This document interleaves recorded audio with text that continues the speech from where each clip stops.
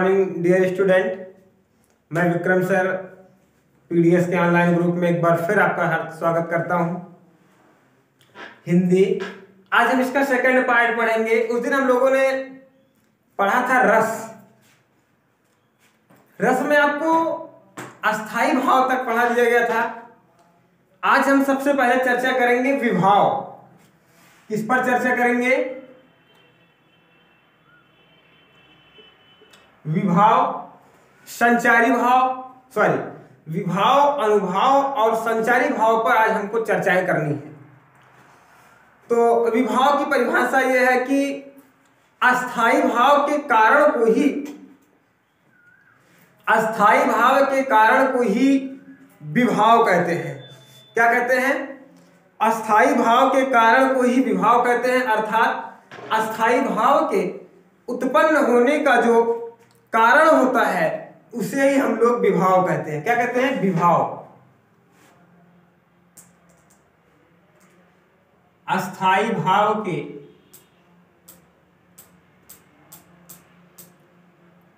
कारण को ही विभाव कहते हैं।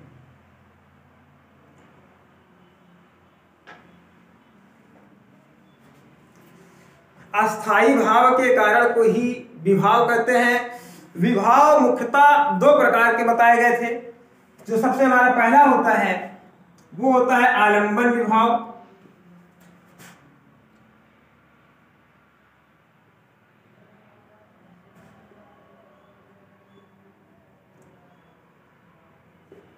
और दूसरा है उद्दीपन विभाव।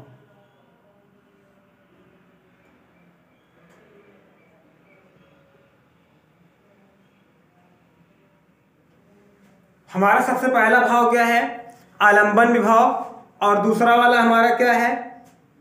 उद्दीपन विभाव। कौन सा विभाव है? उद्दीपन विभाव। तो आलंबन विभाव का अर्थ ये होता है कि जिससे जिस व्यक्ति या वस्तु को देखकर, जिस व्यक्ति या वस्तु को देखकर मन में अस्थाई भाव जागृत होता है।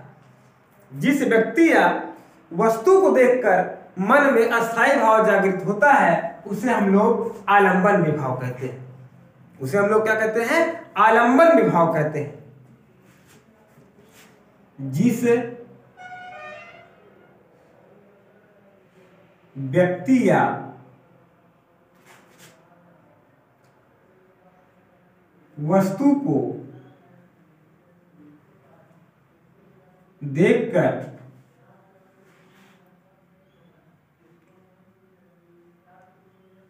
अस्थाई भाव।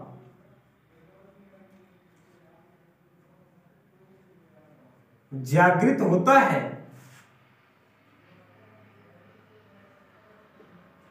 उसे आलंबन विभाव कहते हैं।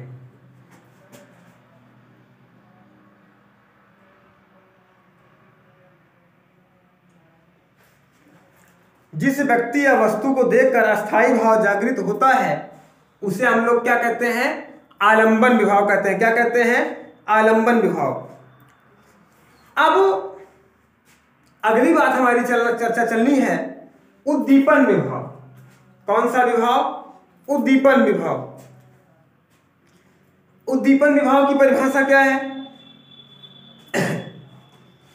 आलंबन विभाव द्वारा उत्पन्न आल सॉरी हाँ या फिर आलंबन विभाव द्वारा उत्पन्न वे भाव वे भाव आलंबन विभाव द्वारा उत्पन्न वे भाव जो अस्थाई भावों को उद्दीप्त करते हैं, क्या करते हैं? उद्दीप्त करते हैं, जो क्या करते हैं? अस्थाई भावों को उद्दीप्त करते हैं, उन्हें उद्दीपन विभाव कहा जाता है। अर्थात आलंबन विभाव द्वारा जागृत या फिर वे भाव?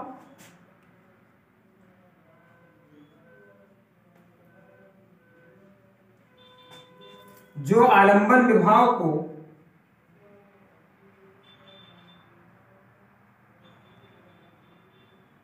विभाव जो आलंबन विभाव के द्वारा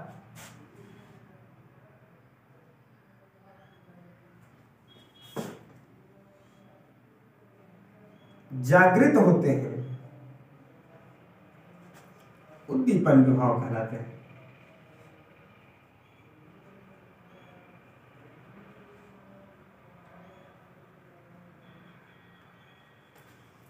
आलंबन विभाव के द्वारा जागृत होना। यानी किसके द्वारा जागृत होता है? आलंबन विभाव के द्वारा जागृत होता है। उसको हम लोग क्या कहते हैं? उद्दीपन विभाव कहते हैं। कौन सा विभाव कहते हैं बेटा? उद्दीपन विभाव। जैसे जैसे, उदाहरण में हम लोग लिख सकते हैं बौने के वर्णन में बौने के वर्णन में बौने का अटपटी चटपटी करना।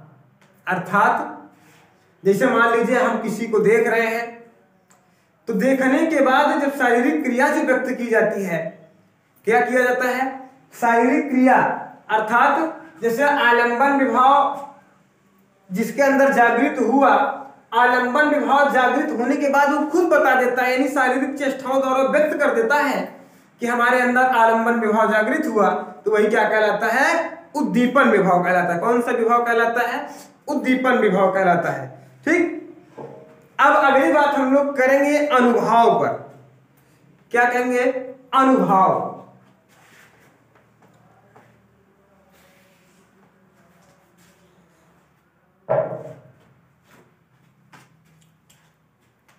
हाँ अनुभाव। अस्थाई भाव के जागृत होने पर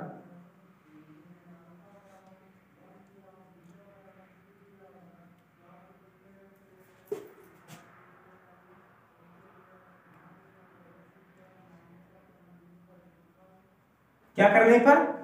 अस्थाई भाव के जाग जागृत होने पर अस्थाई भाव के जागृत होने पर आश्रय के मन में या फिर आश्रय में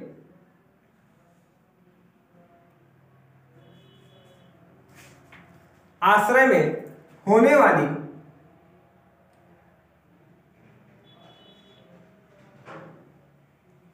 आश्रय में होने वाली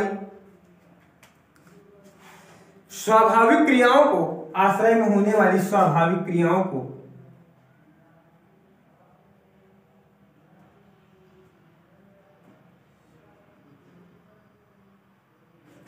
अनुभाव कहते हैं। क्या कहते हैं? आश्रय में होने वाली स्वाभाविक क्रियाओं को अनुभाव कहते हैं।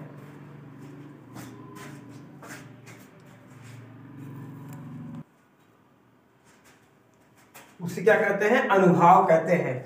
इसका उदाहरण हम लोग देखेंगे।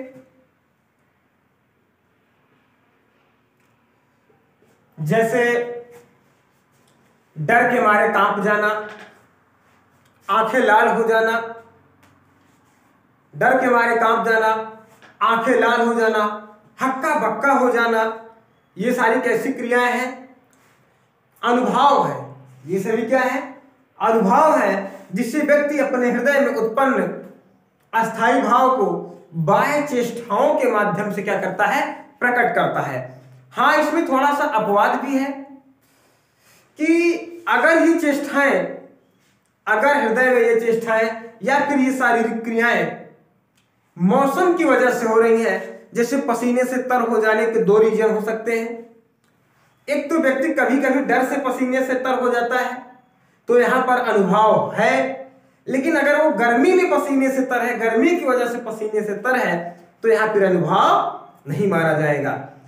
बरसात में कोई भीग गया है, बरसात की वजह से ठंड महसूस कर रहा है, डरा हुआ है तो यह अनुभव नहीं माना जाएगा।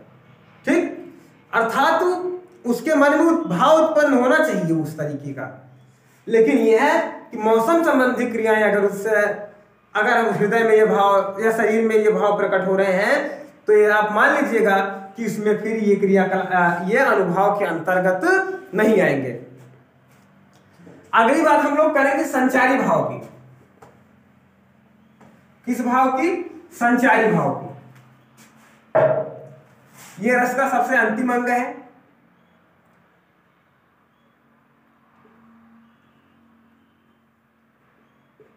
सहृदय के हृदय में उत्पन्न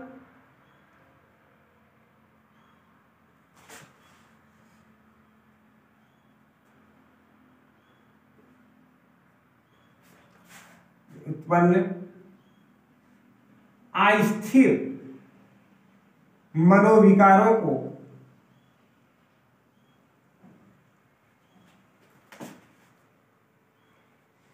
संचारी भाव कहते हैं।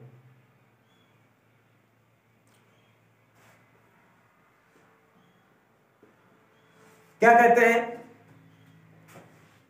सहृदय के हृदय में उत्पन्न अस्थिर मनोविकारों को। अर्थात ये ज़्यादा देर तक स्थिर नहीं रहते, ये पानी की बुलबुलों की भांति बनते रहते हैं, फूटते रहते हैं, ये क्षण भर के लिए आते हैं। जैसे पूरा रोल हमको अलग करना है, लेकिन उसके बीच में कहीं कहीं पर कुछ समय के लिए ये क्रियाकलाप होते हैं तो इनको क्या बोला जाता है? संचारी भाव बोला जाता है। क्या बोला जाता है? संचारी भाव बोला जाता है। ये रस के अस्थाई भाव के जागृत होने पर ही हमारे हृदय में कुछ क्षण के लिए, कुछ समय के लिए, कुछ मिनट के लिए आता है। इसीलिए हमारे कवियों ने कहा कि ये पानी के बुलबुलों की भांति हृदय में बनते रहते हैं और बिगड़ते रहते हैं। बनते रहते हैं और बिगड़ते रहते हैं। ठीक? लेकिन हाँ। अब हम लोग समझ गए रस के चार अंग हम लोगों ने अच्छी तरीके से पढ़ लिया। अनुभाव सॉरी अस्थाई भाव, विभाव, अनुभाव, संचारी भाव। चारों भावों को हम लोगों ने अच्छी तरीके से पढ़ लिया।